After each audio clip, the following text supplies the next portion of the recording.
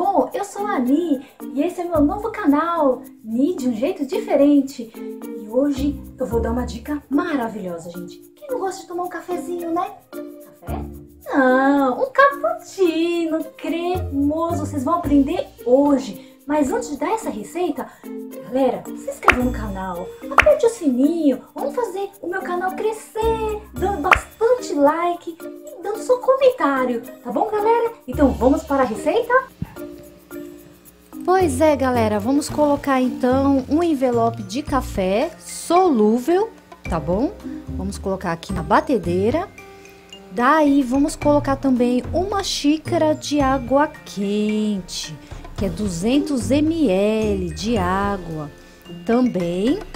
E também vamos colocar, vamos mexer um pouquinho, mas antes vamos colocar logo o açúcar, né? Que é duas xícaras de açúcar, tá bom? Eu tô colocando, galera, aquele cristal, tá?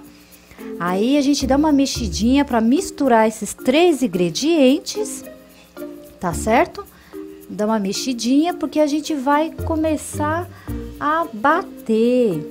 Vamos lá, galera. Vamos abrir, vamos é, ligar a batedeira. Vamos deixar por oito minutos batendo, tá bom?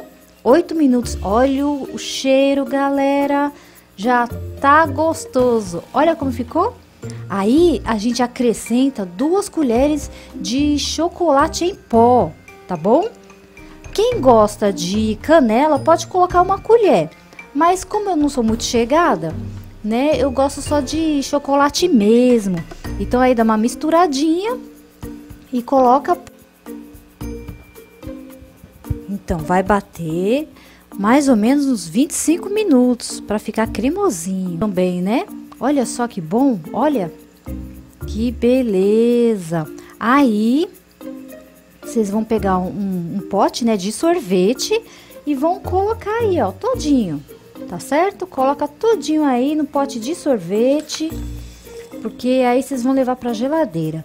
Mas antes disso, olha só, vocês podem usar por duas opções, ou com água, vocês podem tomar, ou com leite, tá bom? Aí vocês colocam duas colheres de sopa, né, de cappuccino na ou, ou no, no, na água, como a gente está fazendo agora, ou no leite. Gente, no leite fica muito mais gostoso. Eu sou chegada no leite, né? Então vocês colocam aí, ó. Olha como é cremoso. Gente, que beleza! É ótimo, muito bom mesmo. Tá? Aí, ó, vocês vão misturando, que ele vai derretendo, porque tem que estar tá quente, né? Bem quentinho.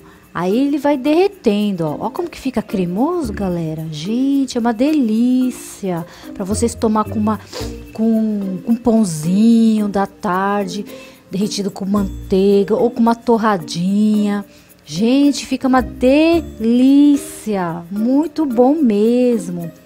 Aí serve também, galera, para vocês é, colocar no, no freezer. Ele não vai ficar duro, tá? não fica e dura um mês, tá bom? Ó, vocês vão colocar aí, dura um mês no freezer, tá bom?